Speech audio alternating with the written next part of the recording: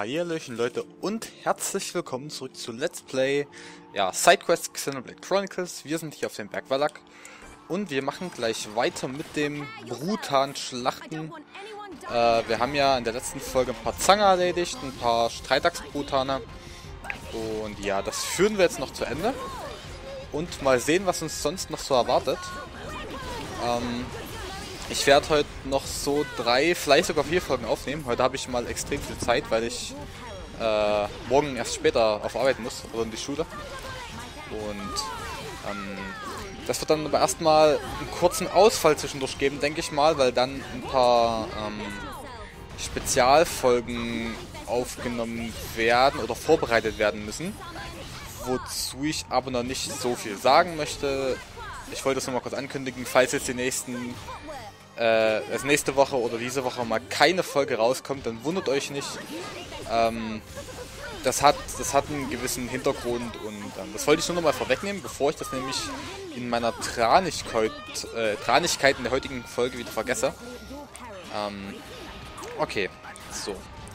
Mehr wollte ich glaube gar nicht sagen.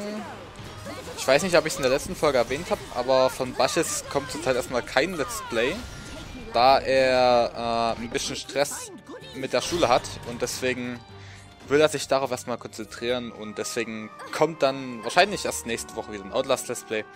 Ähm, ja, das sollte ich noch äh, von ihm ausrichten. Ich weiß nicht, wer sein Outlast Let's Play auch schaut. Ähm, ich habe es ja schon in zwei, drei Folgen erwähnt. Und ja, das wollte ich jetzt nur noch mal äh, kurz durchgeben.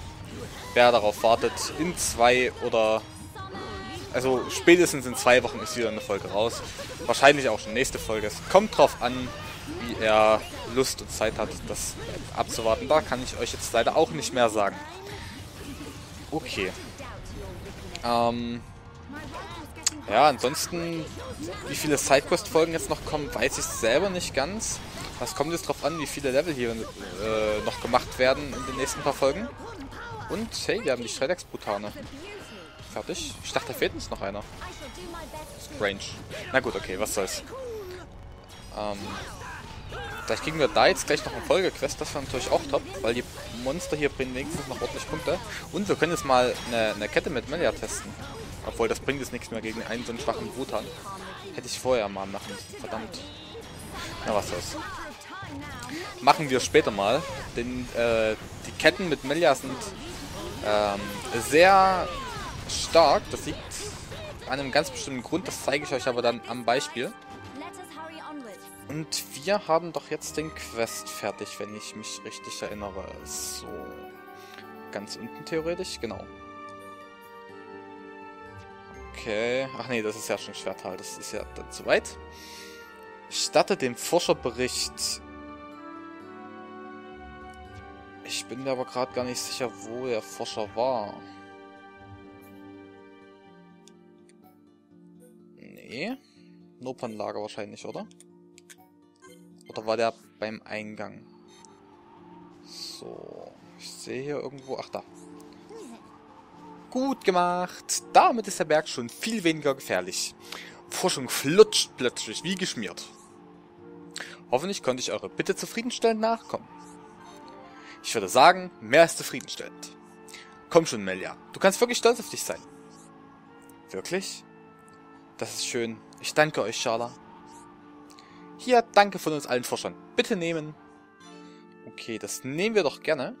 Auch relativ viel EP. Klasse Sache. Und Ricky ist ein Level angestiegen. Nur Melia irgendwie leider nicht. Okay. Ey, der hat noch ein Fest für uns. Klingt doch gut. Oho, ihr wieder. Wusstet, dass wir Hilfe brauchen? Bitte, erklärt euch. Ja, erklären, so dass Ricky auch versteht. Wusste nicht? Egal. Brauchen Hilfe bei Forschung. Geht zu Punkt mit guter Aussicht, dann sagt uns, wie es war. Hohe Orte zu, gefährlich für Nuppern, zu viel Wind und Schnee. Bitte besucht für uns zwei Orte. Eine bei Podest von Befalgar, andere in Nähe von Kana-Gipfel. Bitte von da Aussicht genießen, alles angucken. Danach uns berichten. Fertig. Macht ihr bitte? Äh, klar, warum nicht? Ihr gute Leute. dann los für eine Aussicht gucken gehen. Bin gespannt auf Ergebnisse. Wir nehmen unsere Sache an. Ich helfe dir, Melia. Mann, ich habe heute noch gar keine Fastfood drin gehabt. Zumindest beim Lesen. Das ist auch mal eine Premiere. So, was Podest von Befalgar und Kana-Gipfel. Zwei ganz besonders hohe Orte. Dann sind wir hier wahrscheinlich eher falsch. Dann müssen wir eher auf die Ebene. Bagna. Naguafall. Das sieht mir gar nicht so schlecht aus, die Umgebung hier. Wir könnten mal probieren, hier hochzulaufen. Da gehen wir mal hier hoch. Und oha, oha, oha, oha, was sehe ich denn da? Hä? Ach, da ist der eine Gipfel. Und dort oben ist der andere. Das ist die Frage, wie kommen wir am schnellsten da hoch? Wahrscheinlich, wahrscheinlich da einfach hochgehen. Okay, auch nicht schlecht. Ich dachte zwar nicht, dass uns das angezeigt wird, aber es ist ja natürlich auch nicht verkehrt. Wir können jetzt nochmal schön die Aussicht von hier oben genießen. Ich würde jetzt auch auf Nacht stellen, weil nachts sehen die meisten Gebiete hier eigentlich geil aus. Also Berg Wallach und zum Beispiel Sumpf unser Turtle sind ja Beispiele, wo nachts einfach äh, äh, die ganze Schönheit der Gebiete zum Tragen kommt. Hier mit diesen gelben Lichtern, die überall hochschießen. Und der Sumpf von Saturn mit diesem Nebel und dieser geilen Musik. Arif wäre es eigentlich genau zum Beispiel, wenn ich da jetzt den Vergleich ziehe. Ja, auch eigentlich... Na gut, Alchemod ist in beiden Zuständen schön. Das kann man, kann man nicht absprechen. Ah, da kommen wir nicht hoch. Das ist das Problem. Okay. Da müssen wir irgendwie außen rumgehen.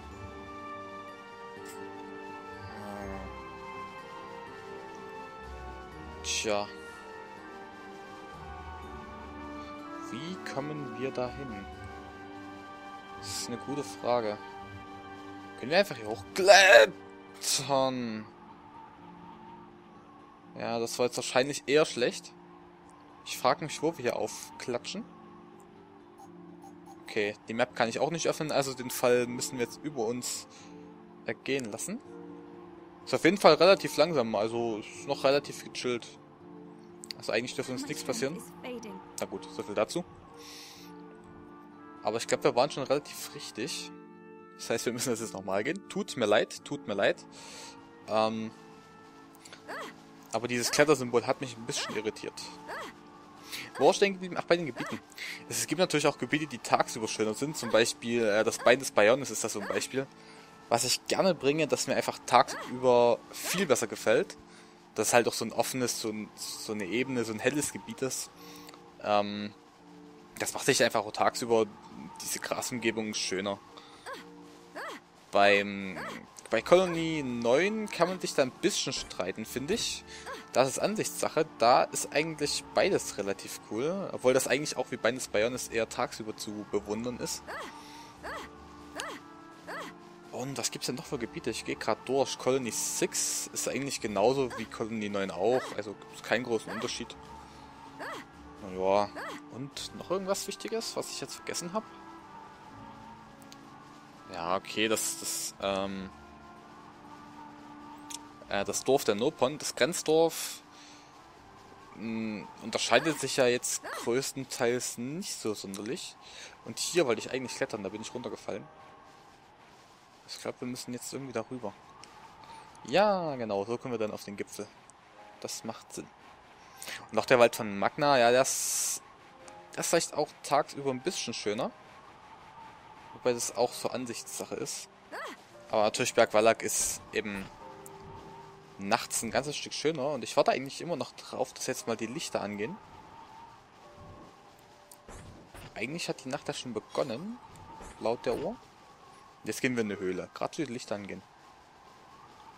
Oh, ich hoffe ja, von oben haben wir jetzt einen tollen Blick. Wir sollen ja auf den Gipfel hoch. Mal abwarten. Da ist ein Schmetterling. Was machen denn Schmetterlinge hier drin? Da oben. Seht ihr ihn? Stimmt, oder? Er ist er weg. Na gut. Auch nicht ganz so konsequent, dass der Schmetterling auf einmal weg ist, aber was da ist. So. Ein Schleimhirnchen haben wir bekommen. Apropos, wir könnten dann auch mal die, das, äh, das Galacticon mal wieder aktualisieren. Podest von Befalgar. Und dann geht's an. Oh, geil. Oh, eine Mission auch noch. Klasse Sache. Wir haben die zwei Stück Frostglas für Kaleka gesammelt. Kann die Hochofen-Schalttafel damit repariert werden? Hochofen-Schalttafel. Ich habe keine Ahnung, wovon die redet. Okay, das ist dieses Podest.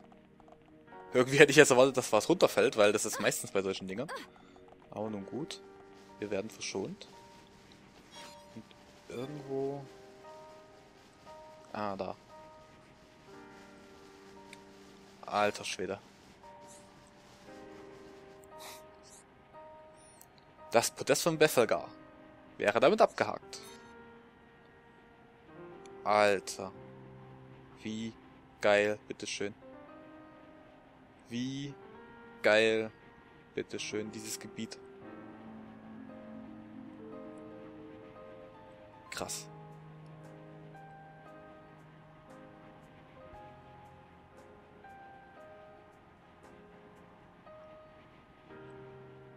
So, okay. Wir sollten es ja bewundern. Und nein, das war eigentlich nicht der Plan. Aber vielleicht können wir damit auch besser. Die, äh, diese, diese andere Aussichtspunkt lag ja in der anderen Richtung. Also dürften uns das jetzt nicht so viel geschadet haben. Und die Sterbestatistik wird ja eh nicht mitgeführt, hoffe ich zumindest. Weil sonst hätte ich mir durch sowas schon ganz schön was reingeritten. Okay, natürlich wurden wir hier zuletzt oben gespawnt, ist auch klar. Wird auf der Karte der Punkt angezeigt, wo wir hin müssen? Nein, natürlich nicht. Da müssen wir uns mal schnell Ausschau halten, wo wir hin müssen. Irgendwo in der Richtung war das doch, oder? Ich gehe mal kurz woanders hin.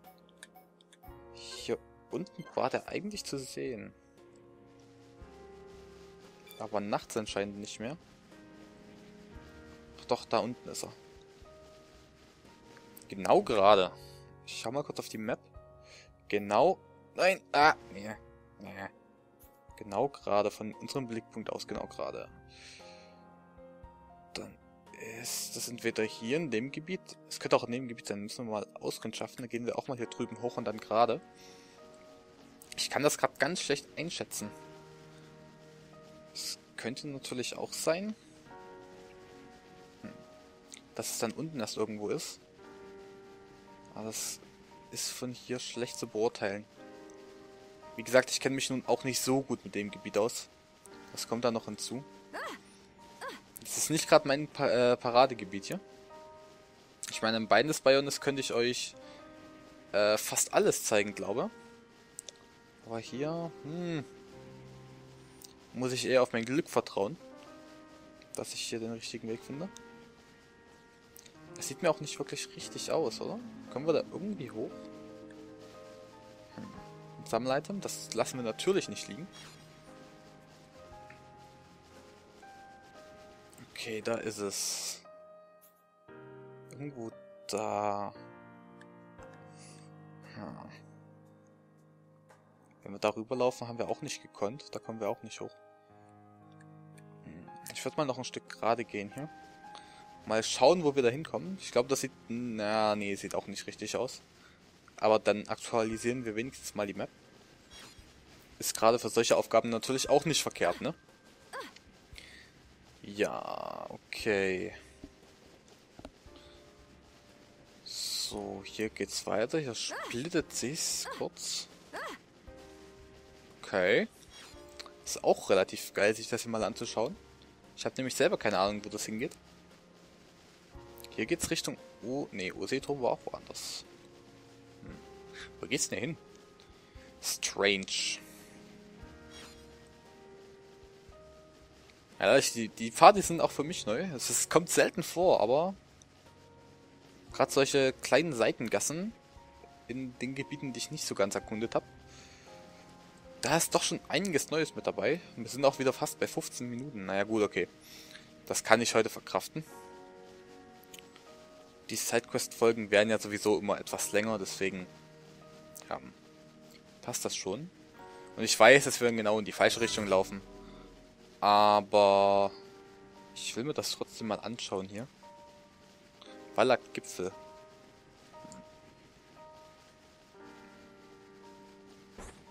Oh Gott. Hm, 98. Naja. Wenn es sonst nichts ist, ne? Da ist eine riesen Ether. Hm. Hier ist ja sonst weiter nichts. Ich will nicht gegen die kämpfen. So. Bevor uns der Liebig angreift, verpissen wir uns mal lieber. Wir müssen irgendwo hier rüber. Ich glaube, wir kommen doch über den Reisepunkt noch am besten. Vielleicht finden wir da irgendwo so einen versteckten Weg. Irgendwo hier oben muss das doch eigentlich sein. Wie kommen wir jetzt da hoch? Hier vorne irgendwo rechts vielleicht, aber das sieht laut Map auch nicht so gut aus. Wobei doch, da führt ein kleiner, kleiner Pfad, so ein Trampelpfad, glaube ich, hoch. Hm. Das muss ich jetzt mal drauf ankommen lassen. Da bin ich jetzt auch ziemlich gespannt. Das ist so ein Lavos-Liebesch. Ich hoffe, der ignoriert uns jetzt. Und das ist der Trampelpfad. Okay, ich glaube, hier sind wir richtig.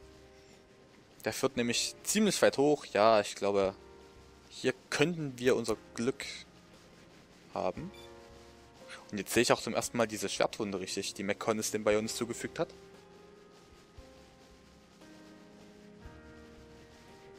Ist natürlich auch echt cool. Ich weiß zwar nicht, wieso dort eine Wunde ist und wieso da so ein Fliffy rumfliegt. Naja, egal.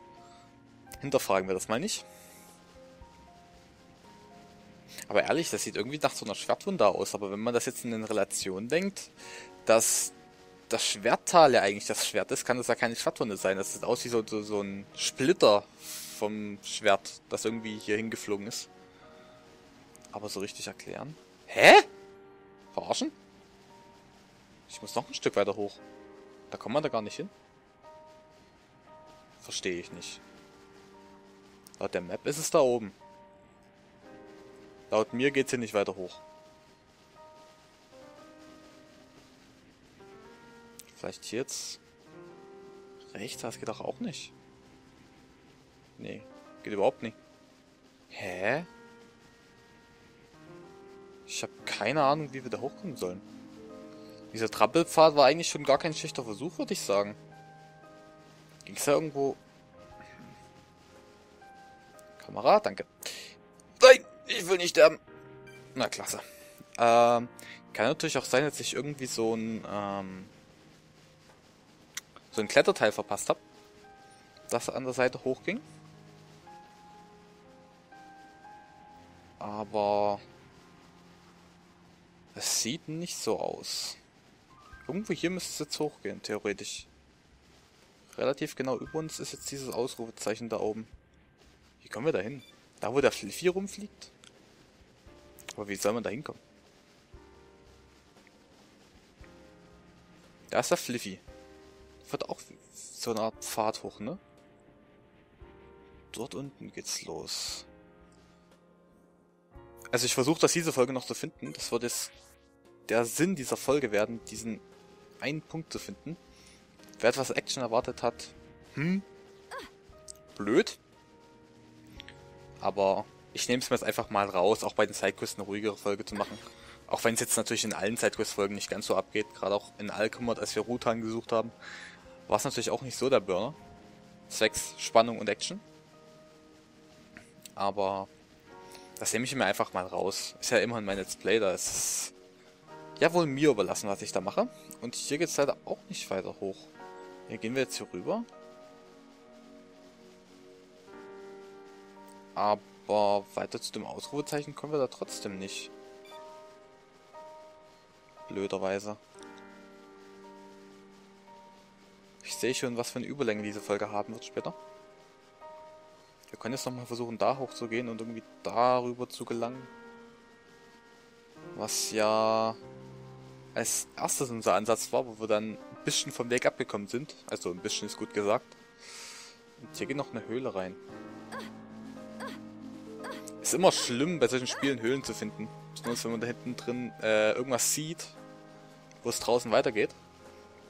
Aber ich muss mich jetzt mal zusammenreißen, sonst ähm, äh, wäre ich mit dem Produzieren der Folge überhaupt nicht mehr fertig, wenn die zu lang wird. Aber das sieht mir gar nicht so schlecht aus hier, der Weg. Und da ist auch die Nacht schon wieder vorbei. Was soll's. Okay. Der Weg scheint mir ziemlich vielversprechend, muss ich ehrlich sein. Wenn wir jetzt irgendwo hier rechts weggehen könnten. Wobei ich das ja noch nicht ganz sehe.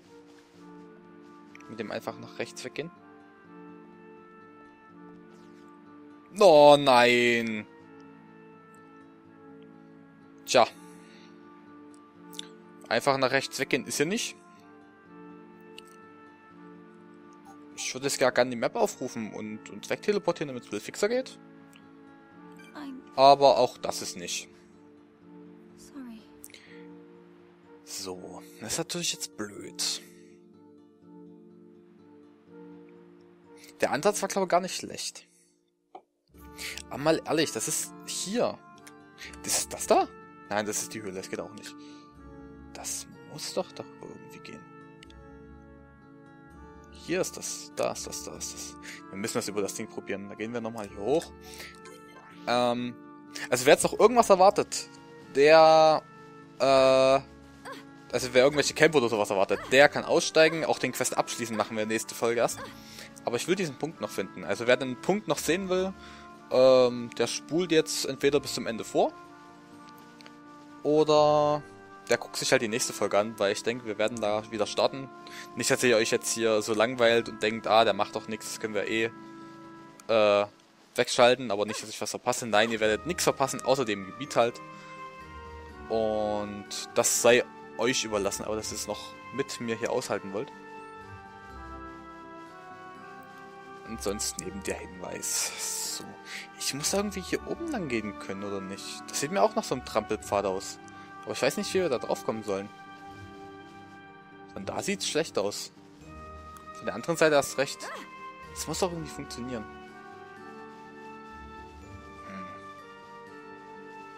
Hm. Mysteriös. Ich wüsste aber auch keinen anderen Weg. Ich glaube, ich werde hier mal wieder auf das äh, beliebte Internet zurückgreifen, wie ich zu diesem Punkt gelange. Einfach, damit ich das hier nicht ganz so in die Länge ziehe und das trotzdem noch hinbekomme, sonst äh, schlagen die Leute mich dafür. Ihr werdet mich wahrscheinlich schon dafür schlagen, dass ich das nochmal hier probiere. Nein, das funktioniert. Ehrlich?